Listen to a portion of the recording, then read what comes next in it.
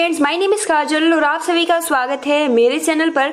और आज के इस वीडियो में हम डिस्कस करने वाले हैं UP DElEd first semester and third semester exam date से रिलेटेड महत्वपूर्ण इन्फॉर्मेशन जी हाँ फ्रेंड्स, मैं आप सभी को बता दूँ कि आज के इस वीडियो में हम डिस्कस करेंगे। फ्रेंड्स, आप देख सकते हो कि डीएलएड दो एवं दो हज़ार उन्नीस बैच के प्रशिक्षुओं ने ट्विटर पर छेड़ा अभियान। और फ्रेंड्स, आप ये नीचे देख सकते हो कि सेमेस्टर के छात्र प्रमोट होंगे। जी हाँ फ्रेंड्स, आपके बहुत सारे डाउट्स थे कि जो आपका डीएलएड है, क्या है? डिप्लोमा है, इसलिए इसको प्रमोट नहीं किया जाएगा। लेकिन फ्रेंड्स एक डिप्लोमा है, इसको प्रमोट किया जा रहा है। आज के इस वीडियो में डिस्कस करेंगे, लेकिन सबसे पहले हाँ आप सभी से एक राय है, आप सभी अपनी राय ज़रूर दीजिएगा। जैसे बहुत सारे प्रशिक्षु है, जिनका यही कहना है कि अगर एग्ज़ाम प्रमोट नहीं होता है तो अच्छा है। क्यों? क्योंकि अगर एग्ज़ाम को प्रमोट कर दिया जाएगा तो जो मार्क्स है, बहुत ज़्यादा कम आएगा।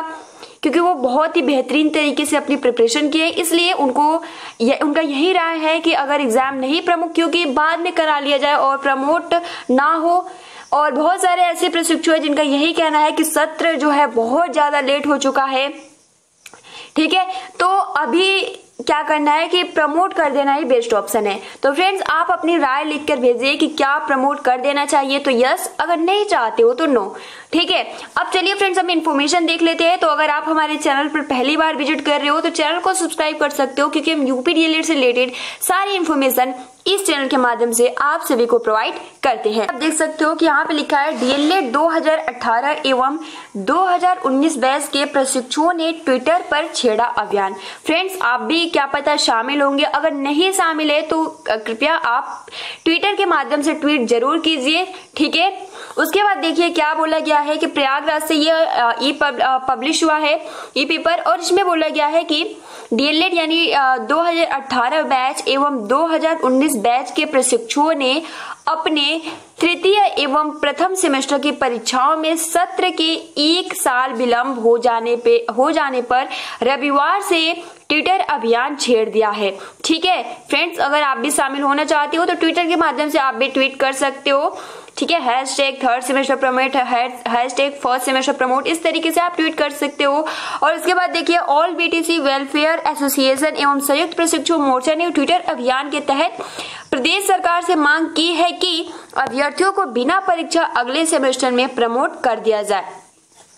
तो फ्रेंड देख सकते हो कि बहुत सारे ऐसे प्रशिक्षु है जो कि चाहते हैं कि जो हमारा एग्ज़ाम है first semester and third semester इसको प्रमोट कर दिया जाए और जल्द से जल्द सेकंड सेमेस्टर और फोर्थ सेमेस्टर का एग्ज़ाम करवाया जाए। क्योंकि आप सोच सकते हो कि अगर आपका डीएलएड तीन साल का हो जाएगा तो फिर बहुत ज़्यादा प्रॉब्लम प्रॉब्लम आएगी और आगामी जो भर्ती आएगी उसमें भी आप जब पार्टिसिपेट ही नहीं कर पाओगे तो कोई फ़ायदा भी नहीं होगा। ठीक है?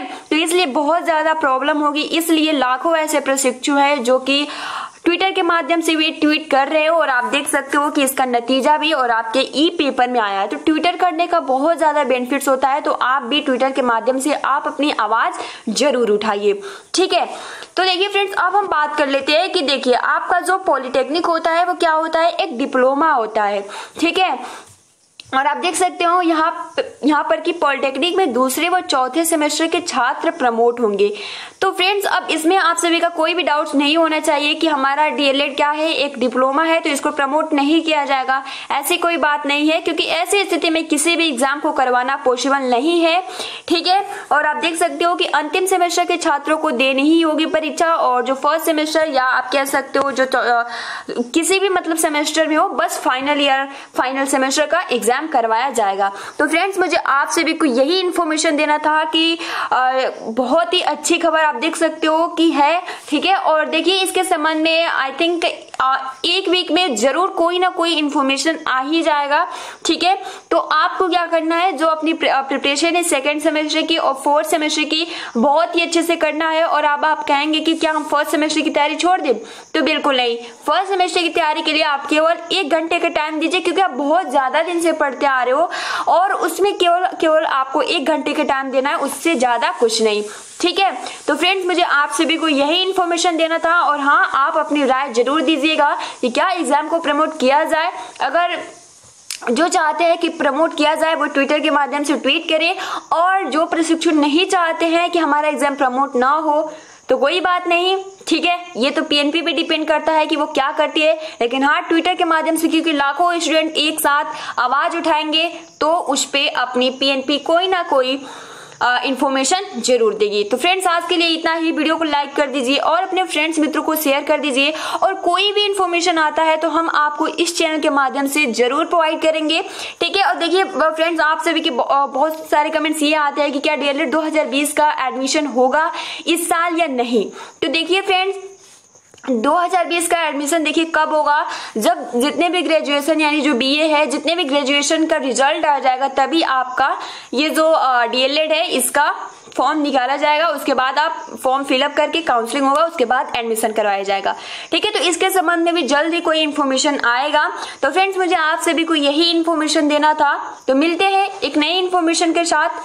Thanks for watching take care and best of luck